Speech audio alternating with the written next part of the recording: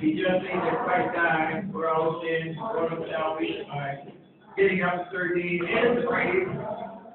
That means that you have the right to come and accept him as Lord and Master of your life. Yeah, what? Yeah, what?